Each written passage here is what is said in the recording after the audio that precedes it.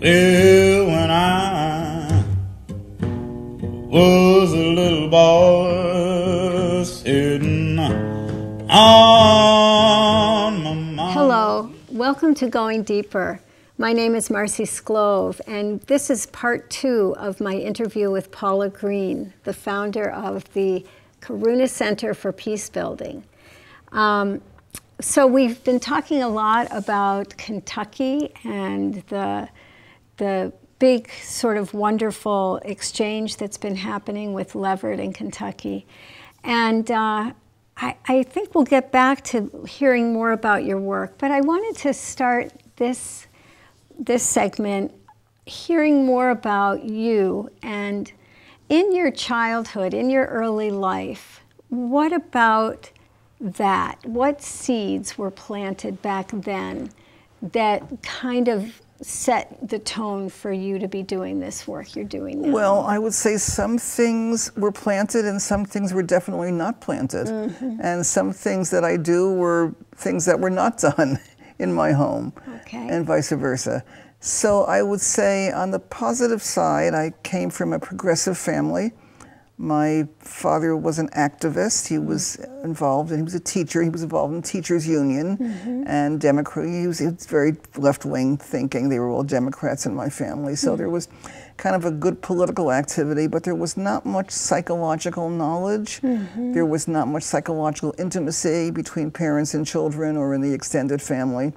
So I think when I first went into this work, I was studying psychology, and I'm sure I was trying to figure out myself and my family, which mm-hmm. is why I think many young people sure. go into this work.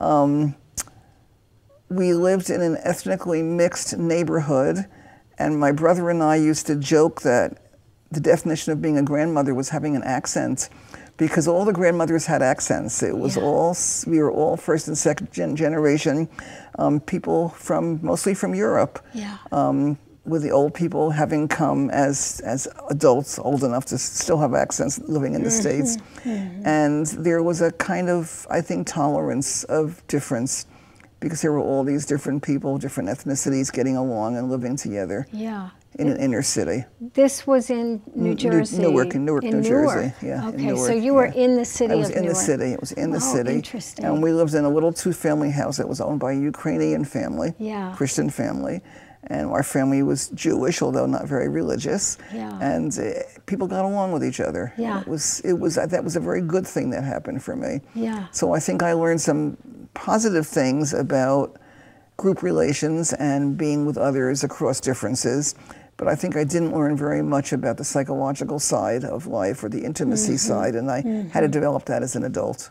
Wow.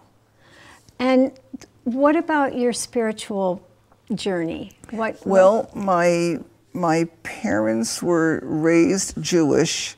My father was kind of reactive and was reacting against Judaism, so he became a sort of a soft communist, I would say, mm-hmm. and anti-religious.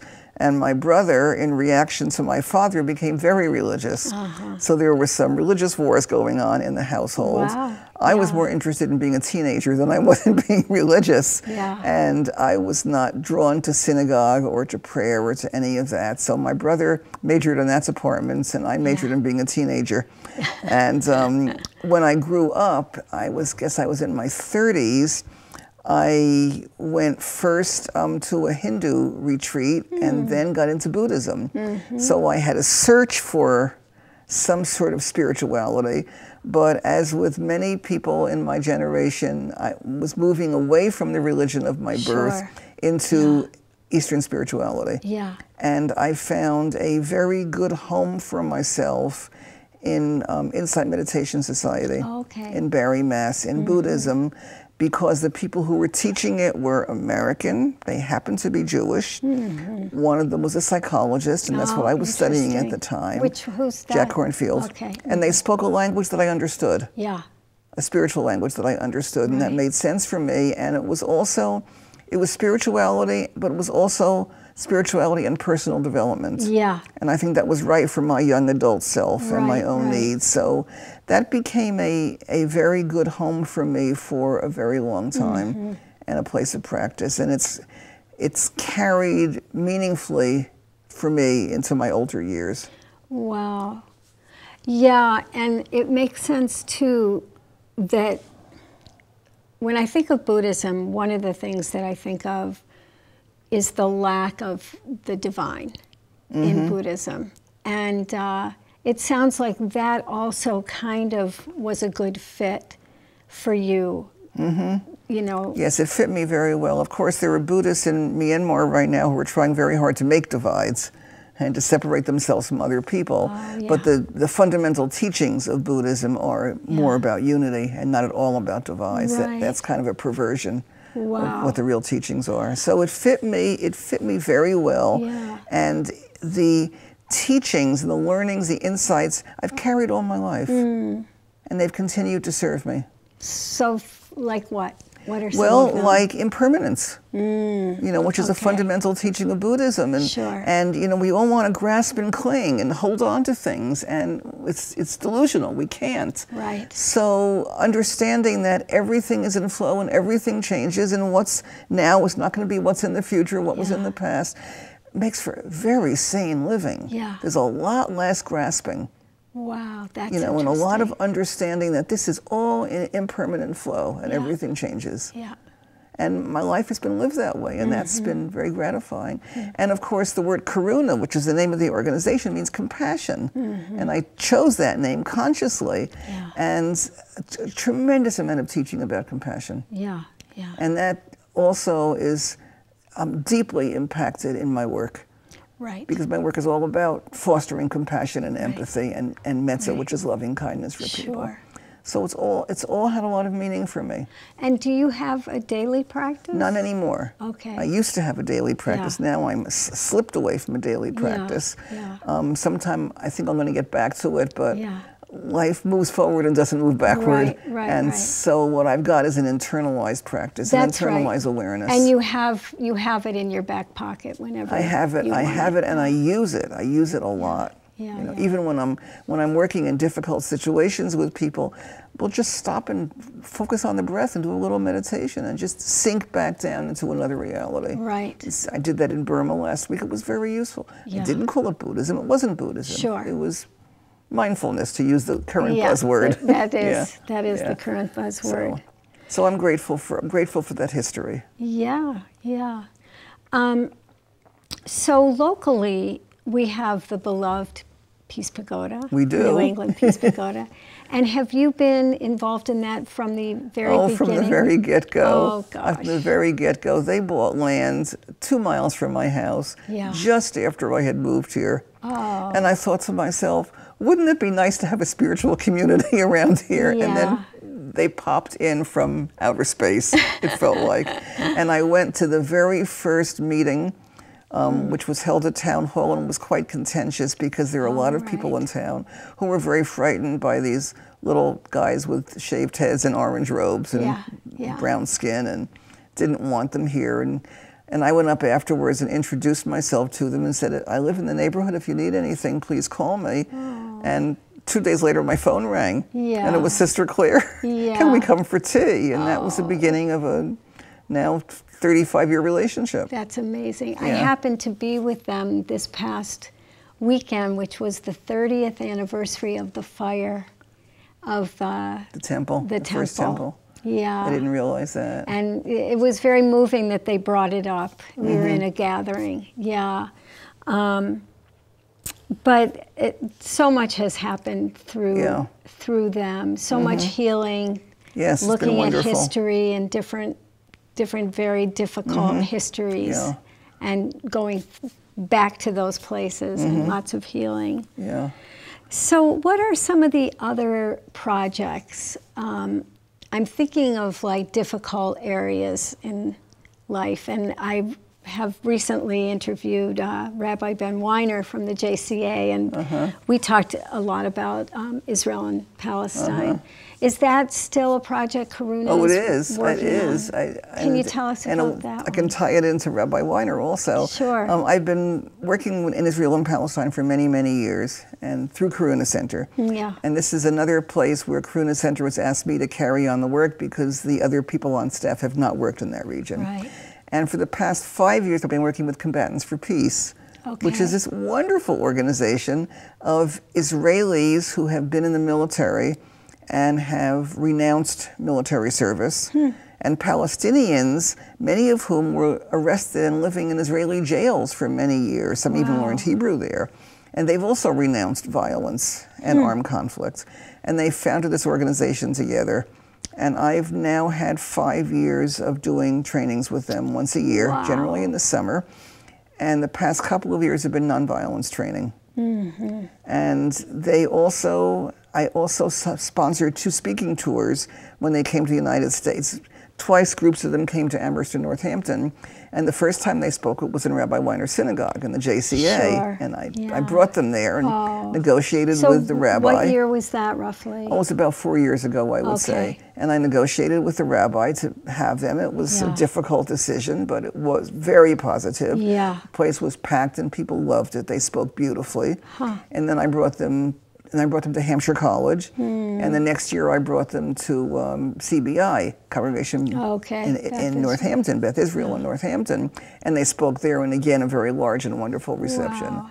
And then there was a film made about them Oh. called Disturbing the Peace, which is a great title for a film. Yeah. And we had a showing in the Amherst Cinema for a night. oh my gosh. And so we packed the Amherst Cinema and I spoke there. Yeah. And I've also spoken in two or three other places where they've shown the film in Greenfields and Brattleboro. Okay. Where we've, we've shown Disturbing it as well. Disturbing the peace. so it's, to look that you can look it up. up. You can see it on, on, uh, on your computer now. Yeah. And um, they've been a wonderful organization. So I've continued with them over the years, and it's been very meaningful. Hmm. Yeah. Because they're doing, they're doing um, a nonviolent response to the violence that's brewing there. Yeah. And trying very hard to bring Israelis and Palestinians together. And because the organization is joint, I've also facilitated some dialogue for them. Sure. So it's That's so that's really been a, that's a nice part of my life too. Yeah. Yeah. And and what other parts of the world have have you been working in? Well, not at the moment, but I've worked a great deal in um, Sri Lanka and Nepal, Mm-hmm. and some in India and a little bit in Afghanistan. So a lot in that South Southeast. Yeah. Asia region. Um, and I've also worked a lot in Africa. Hmm. And a lot of African countries, especially in East and Central Africa. Spent a long time in Rwanda. Yeah. But also worked in Zambia and Tanzania and Uganda. I worked with Sudanese women from South Sudan and Sudan Wow. working on kind of a government track level with them. And we spent many years in the Balkans, Bosnia, Hmm.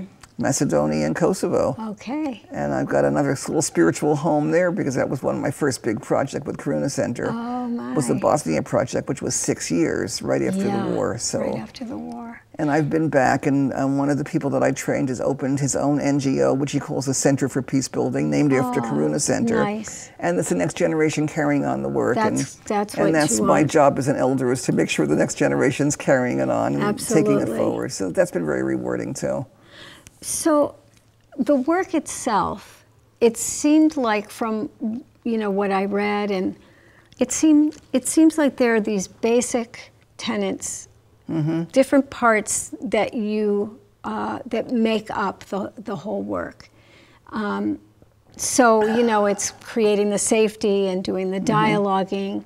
And ending with training them to That's be right, yeah. continue on. But what are some of the steps in between? Well, there's a lot of other pieces to it. Yeah. Um, and when I was young and first doing this, I would come back from overseas and think, I guess it worked, but I'm just making it up. And I don't think that anymore. I know now exactly what I'm doing and Mm-hmm. What the plans Yeah. are. Um, a lot of it is um, helping people understand the causes of conflict. Because people in a post conflict situation, civil society, people who show up at our workshops, are bewildered. How, how did we get here? Why did we kill each other? How did we get from living together decently enough to ravaging and wrecking each other's lives? Yeah. And what happened? So we try to do a lot of work at looking at the multiple and overlapping and complex causes of conflict so that people can find their way into how this conflict happens. Yeah. And we talk about conflict escalation. And we talk about a lot about stereotypes and prejudice and how those are reinforced and, and the role of government as well as the role of civil society. Um, and we try to talk a lot about cycles of revenge and how if people don't heal, then the next generation will carry on and kill the other people, and then the next generation will kill the people who killed the people. Yeah. And you see that in Israel and Palestine Sure. almost in real time. Yeah. But you see it in the history of many of these places. Yeah. Many of these places Even our country. totally our own country. Yeah. So we try to look at very deeply at, at, at these kinds of things in order to help people move away from that. Mm-hmm. We also do a lot of work on reconciliation Mm. And forgiveness and what does it mean to reconcile. It's a, it's I think it's a whole lifetime process to mm-hmm, reconcile. Mm-hmm. But what are the steps and how do people help themselves and help each other? And how do you raise kids not to carry the trauma of the adults? Yeah. So what's trauma and how do you deal with that? Wow. So it's there's a lot of pieces and lot. different pieces come in in different contexts depending on where I'm invited, who the participants are, what the history of the war has been, how long ago it was, etc. Yeah. But these are all pieces that I've learned to teach and to help people Oh, with. good. And it, and they're all very important and they're kind of things that nobody talks about. Wow. You know, all they want to do is blame you started the war. No, you started the war. Yeah. Who, who started the war? We don't Well, probably know. they started the war over there between you two to give them the power. You know, there's It's- that piece yeah, too. is exactly. divide and a conquer. lot of a lot of divisions, and you have to sort of it's the bridging again. How do you come back and bridge the divisions? S- And we tend when I'm overseas, you know, I try to do three to five days at a time because I'm traveled a long way. Mm-hmm. So we'll bring people for a three or four day weekend, and we'll work all day every day Yeah. on these things with lots of small group work and activities and learning, practicing, so that people really have things they can take back. And we always end by a training of trainers group Yeah. so that I feel when I'm gone, the work is going to be carried on. Good. Yeah, that's so important. Yeah. Wow. And another way that that's happened is your teaching Right.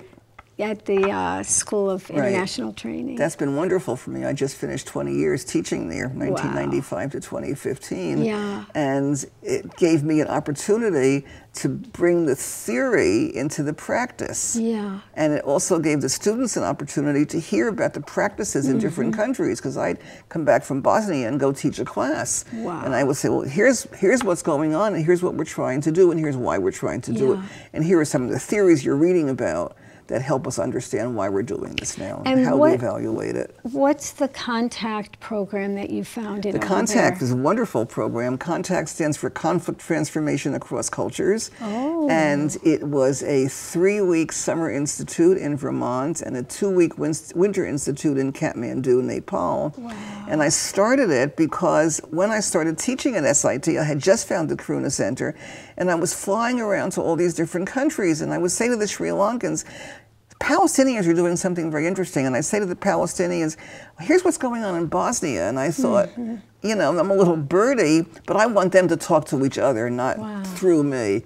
So I got this idea of bringing people together um, who have been in armed conflict to work with each other. And I brought it to the dean. He said, it's a great idea, try it out. So we started in 1997 with our first program and with about 10 people. And before you know it, it was 60 or 70 people every summer. Okay, and these are people weeks. from different war countries, zones, from all over the war world. zones. And who pays to get them to come? My begging bowl. oh, it's, so they come for free. There's I mean- some, well, this one Okay. pays and you take something from this one and you help this one. Okay. And, and a lot of them don't come because they can't afford it. But Yeah. we, we wound up with very large groups. Wow. And very intense because the Americans, of course, were there, were, didn't come from a direct war zone, but a lot of them have been working overseas because it's a school Mm-hmm. for international training and they go overseas for internships. And a lot of them have been in Peace Corps and other things. So Yeah. People were very traumatized. Yeah. And we went very deep, and oftentimes there would be people from both sides of the conflict, like Israelis and Palestinians, in the same room. Sure. And it's three weeks, and I had wonderful staff and faculty who worked with me. And then Mm. after um, the 9 11 events happened in this country, I couldn't get the Muslims in here anymore. I couldn't get the Indians, the Pakistanis, the Afghans. They didn't want them, the Bangladeshis. Because they couldn't get visas. They couldn't get visas. Yeah. So I and I tried and one year I accepted 10 Palestinian students and got 10 visa rejections and I thought Oh, wow. this is not okay. This isn't so I started a second program in Nepal to bring in the South Asians. Oh. So then I had three weeks in the summer of contact in Vermont, and then two weeks in the winter in Kathmandu, where I could bring in all these people that could get visas and come. Oh, so I had Pakistanis and Indians who haven't talked to each other for 70 years sitting up all night because they're cousins. They're genetically Sure, the same people. of course. You know, split by a boundary. Yeah. And and people from Afghanistan who feel so isolated and so frightened Wow. coming and talking to all these others. So it became another very rich experience for me. I have to say that this is more real to me lately because I run a conversation circle at the Jones Library for ESL speakers. Mm-hmm. And just the other day, I put people in small groups, and a woman from China and a woman from Japan were talking to each other. And when they got back in the big group, they actually, the, the plan was they would introduce each other. Uh-huh. And the Japanese woman said, the, the Chinese is very nice. She's very, our countries were at war, but Exactly. she's so nice. Exactly. Yeah. And really, very often, I feel like we Yeah. have, we're doing a little of your say It's more. wonderful. It's, yeah. it's I really tried very. I tried I had a commitment to bring Tibetans in every year. Yeah. And I spent a lot of time working in the Tibetan community in North India and Dharamsala. So I'd always try to make special scholarships for Tibetans, which was very sweet. And some years we had Chinese. Yeah. There they were. And we also, I have a very nice connection with the Native American community of uh, Mm. Navajo Dene from Arizona. And we had two scholarships for them every summer and brought them in. Wonderful. And most people around the world think there's no more indigenous people left in this country, so it was a thrill for them Sure. to meet these indigenous people and wonderful for them to, to learn about the whole world and Mm-hmm. for them to give their notions of what peace is to other people. It was very sweet. That's really Yeah. great. It's really great. So I'm just wondering is there anything that we haven't touched on that you'd like to share or speak about? Well, yes, um, our Hands Across the Hills program is going to have a website starting in a week or two, so people will be able to look about that. And we're putting some of the teachings about dialogue on it, as well as the whole experience Oh, that we shared. And, and we'll start doing some blogging. And, and my work now is to try to disseminate um, that program and to get other communities around the Yeah. country to start um, trying dialogue. Right. And I've had a lot of requests from people who want me to come and speak to them. Oh, good. And I'm glad about that because I feel like it's, I want to be a little bit of a Johnny Appleseed Absolutely. around around this business because our country is so stressed and so fractured. Yeah. And we need the humanity of the other, Right. and we can't let the media run our lives. Right. So. So that's what I'm embarking on Oh, that's now was a big dissemination and writing project to try to get this out and encourage more of it. That's great, great. On so many layers of, you know, like I'm thinking it would be very good too for uh, curricula in schools. Yes. You know, yes. just all the yes. a- different Absolutely. ages. Yeah, it's sort of endless. Yeah. But we'll do what we can do. Yeah. And I love the idea of it being really local. You know, your uh, your first attempts didn't. Yeah. Go through, but maybe there's ways. I uh, think it's going to happen. yeah. I think this. I think talking about the spirit, the spirit's going to lead us. The the way the way is opening, as the Quakers say, for this to happen. Oh, and there are many other dialogue projects in the country that we're discovering that are doing the same thing or Oh, similar good. things. So Yeah. that's so. I think there's an impetus in our country to not allow the media and the politicians to keep us divided and to do whatever we can to. Be compassionate with each other and understand why people vote the way they do. There's always a story. right. You know, and that's what we learned from Kentucky. There was a reason that this happened, and we have to understand the reasons. Sure. Oh, that's wonderful. Paula, thank you so much. This has been a really very beautiful time with you, and I love your work. Oh, I, I do have one more question. Go for it. Well, just quickly, can you tell us what it was like to be with the Dalai Lama when you received uh, your? it was it was kind of a melting experience.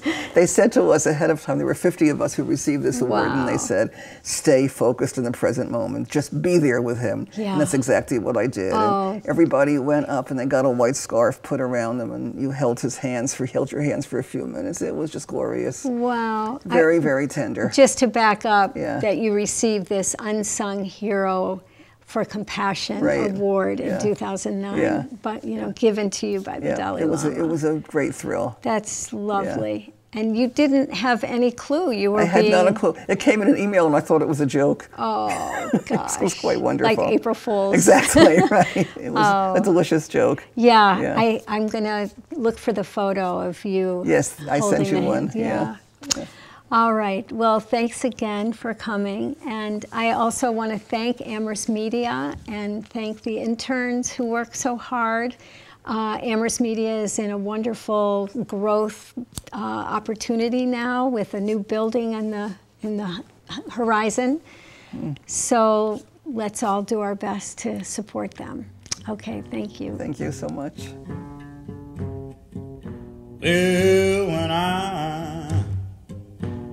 was a little boy sitting on my mama's knee, she said, Son, let me tell you about that bad stagger lee.